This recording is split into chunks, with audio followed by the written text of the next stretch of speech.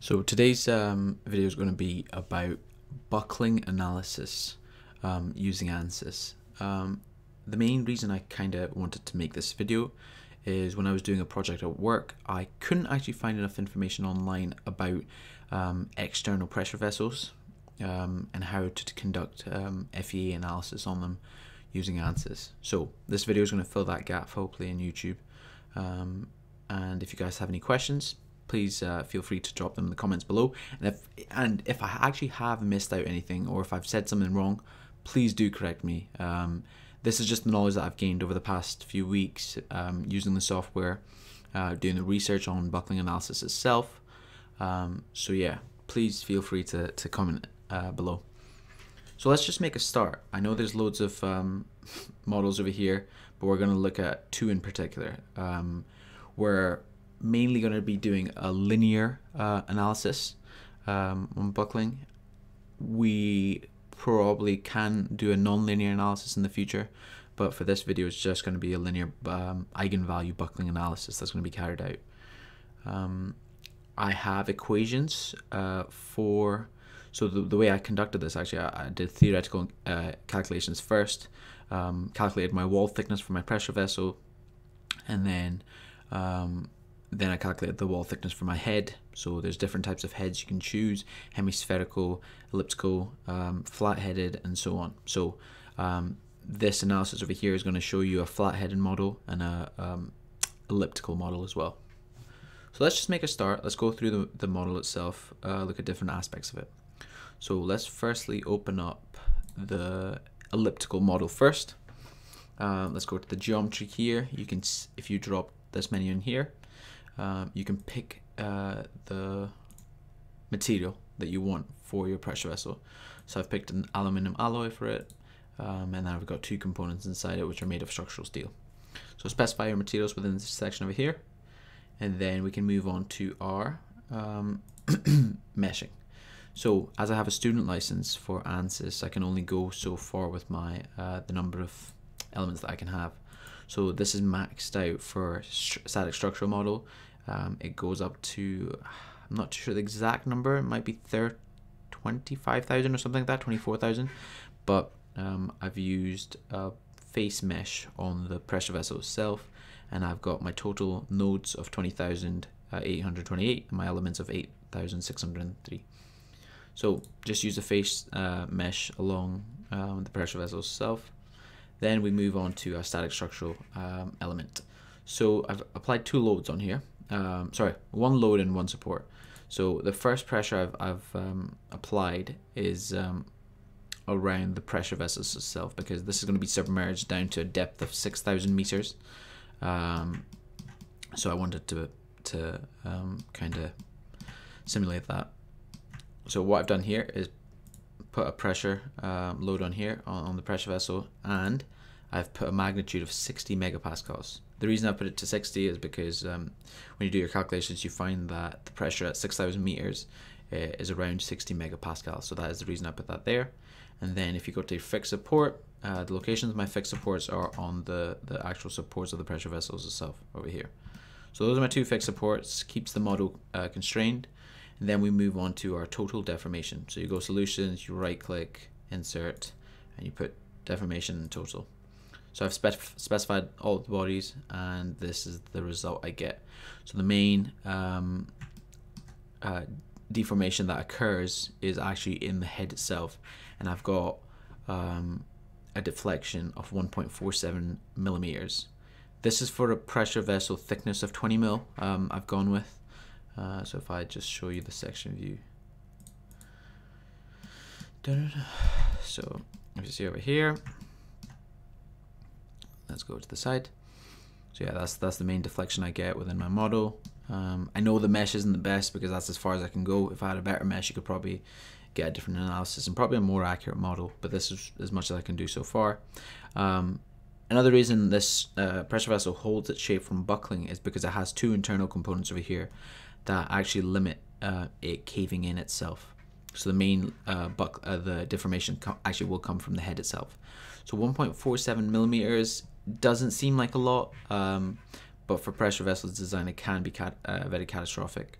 Um, So that was my true scale. If we go into an auto scale, you can see uh, how much it deflects within this region. So it just exaggerates the deformation a bit more, but really this is your true um, deformation here. One problem I've been having, and someone in the comment section can help me, is understanding eigenvalue buckling analysis itself.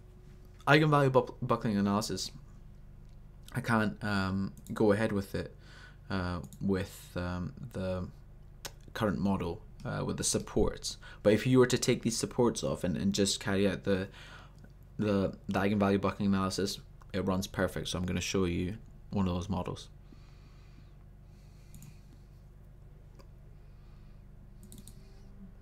Over here.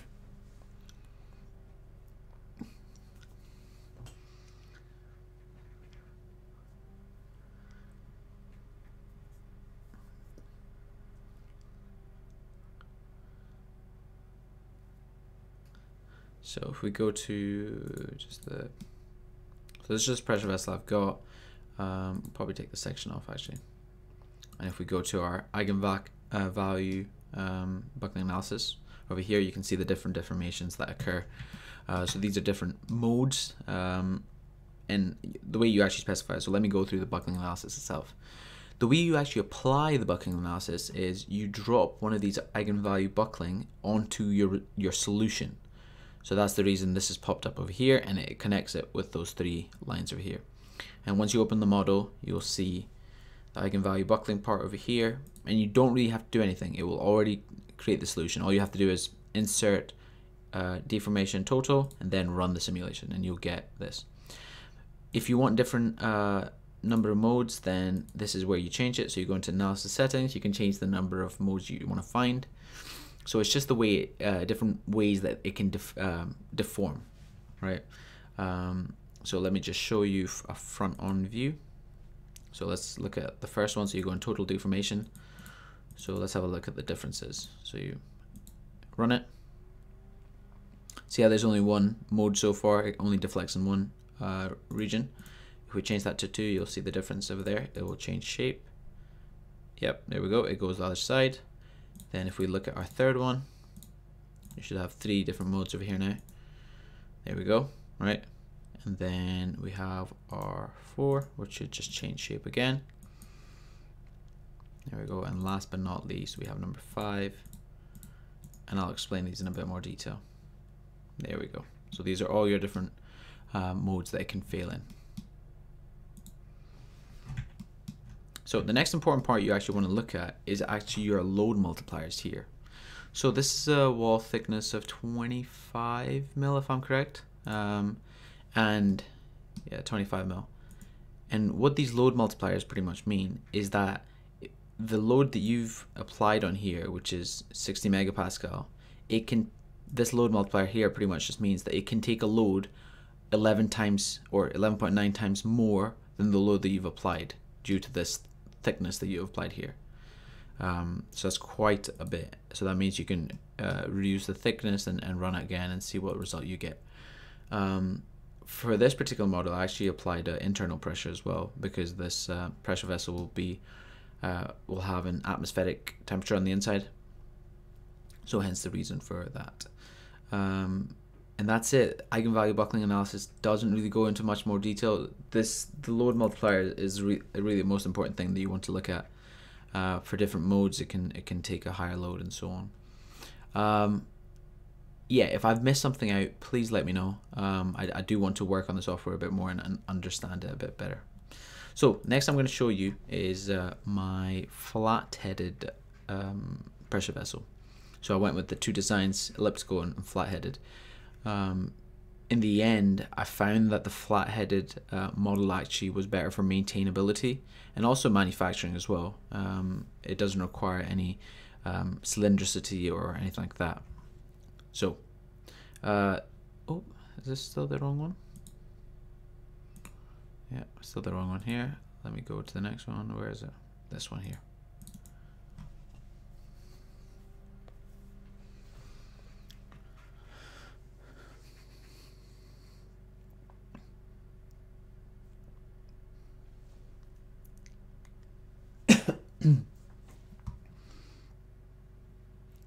There we go. Okay, so um, what we have over here is my flathead vessel. So let me just show you that before now. Uh, let me do a section view of it as well. There we go. Same as before, um, you've got two components on the inside uh, that are housed, my pressure vessel on the outside over here, uh, bolts holding in place. Um, and let's just look into the, the deformation itself. So the two displacements added for these are on either side. Um, the first displacement can, is, has all zeros on either side, so it can move freely. Um, well, sorry, it's fixed, and the second one, sorry, it's it's uh, fixed in the um, y and z direction, and it's allowed to move in the x direction, so it's allowed to move this way. So let's look at uh, for the total deformation then. In this case, you can see that the total deformation occurs um, along this region here, which you would expect, right? That's the, the region. So we're going to look at the uh, flat-headed model now. And um, so we have the bolts placed into the, the flat head itself and they, they bolt in right into your pressure vessel itself. Um, so I fixed the model in uh, one of the heads and I let it move in the other. So what you can see here is the total deformation of the, the model. So the total deformation occurs, the max total deformation, I should say, occurs within the actual outer regions, within the bolt itself. Um, so the bolts take a lot of the, the deformation itself. So we need to uh, pay a bit of attention within how we structure the bolts and what thickness we have for the bolts as well um, and your deformation tends to lessen as we get to the center um, because there has some there's rigidity within the model uh, due to the internal components as well. So I have two internal components over here. Then we have our uh, equivalent stress on the model. As you can see, it isn't a properly meshed uh, model due to the license limit, so therefore we can't really go into too much detail here. Um, yeah, if it was meshed, uh, meshed a bit better, we could have got better results. So same again, what we can see with the bolts, there's quite a lot of deformation on the bolt over here. So we need to make sure that these stresses don't go above the actual bolt yield strength, uh, the material yield strength of the bolt. Um, same again with the head, as I was saying, the deformation deformation occurs um, at the outer regions. And um, another thing we looked at into was the the temperature of the the model itself. So um, we looked at the heat flux within the model as well. Um, so as you can see over here, um, and maybe that's another video I, I, we can go into uh, about um, temperature, um, how the temperature moves through through a material, and how we can determine um, if the model uh, dissipates heat. So what we really want is um, we want the the pressure vessel itself to have a really good heat conductivity, the material itself to have a good heat conductivity so that it can dissipate the heat from inside uh, the pressure vessels itself to the surroundings. So the surroundings uh, in, in um, at 6,000 meters would be around 4 degrees Celsius. So the temperature difference from the inter internals to the out external, um, yeah, we really want to have a really good heat, uh, thermal conductivity for this material so that we can dissipate the heat as much as possible. So um, that probably concludes the video. Um, as I said, if I missed something out or I haven't explained something properly, please leave it in the comments below. Um, and yeah, thank you very much.